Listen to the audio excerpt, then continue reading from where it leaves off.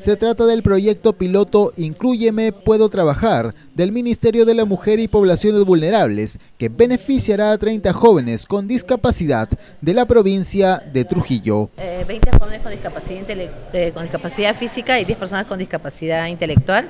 Es el primer proyecto, es un proyecto piloto que, pues, deseamos que se replique en diferentes partes del país. ¿no? Hemos escogido Trujillo como el primer eh, departamento para hacer este programa.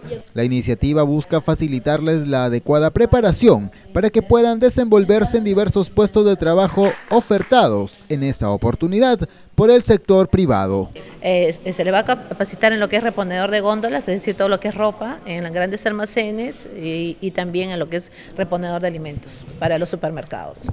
Ellos también tienen derecho a trabajar, por eso el programa dice, no, yo puedo trabajar, es por eso estamos viendo la oportunidad de formarlos. En ese sentido, los representantes de esta cartera ministerial advirtieron que en la libertad las compañías no vendrían cumpliendo con la contratación de esta población vulnerable según la cuota establecida. Es una FIL, eh, así como la, el área de fiscalización de CONADIS va a empezar a fiscalizar eh, las entidades privadas para que se dé el cumplimiento de la cuota hay multas fuertes. Entonces eh, yo creo que desde este año ya hay una apertura de las empresas, al menos en Lima, ya hay un compromiso, buscan a CONAIS para, y la bolsa de trabajo que tiene para cubrir sus plazas. Incluye Me Puedo Trabajar, también será replicado en otras regiones del país. Indicaron que las empresas que se unan a esta cruzada tendrán beneficios tributarios.